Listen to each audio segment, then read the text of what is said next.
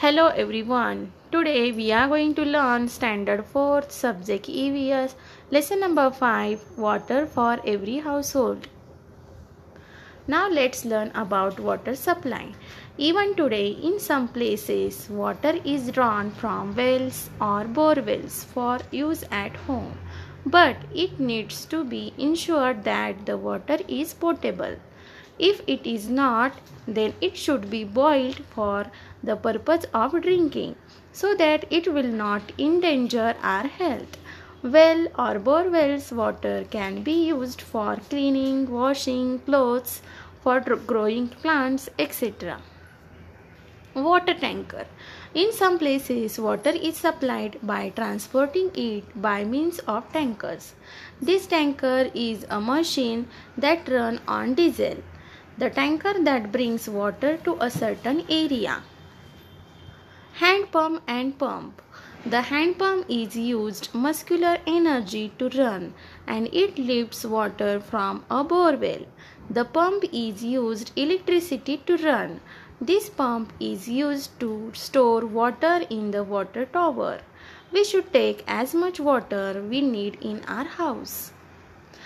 Water is a valuable. Water purification, storage, and distribution are the processes that require a lot of money. Electricity or diesel are used to run the machines for these purposes. A lot of money is spent for this work. Potable water proves to be an expensive substance and we must take care of this valuable resource. We should not waste or contaminate this water. Use the water without wastage. Turn off the tap while brushing teeth. If we take on the water in the mug to wash your face is left over, then don't throw it away or keep it to use later. Do not throw away the water used for washing vegetables, fruit, etc. You can use this water for plants to give to plants. When rinsing things under a tap, do not turn a tap fully on. Just turn it just enough.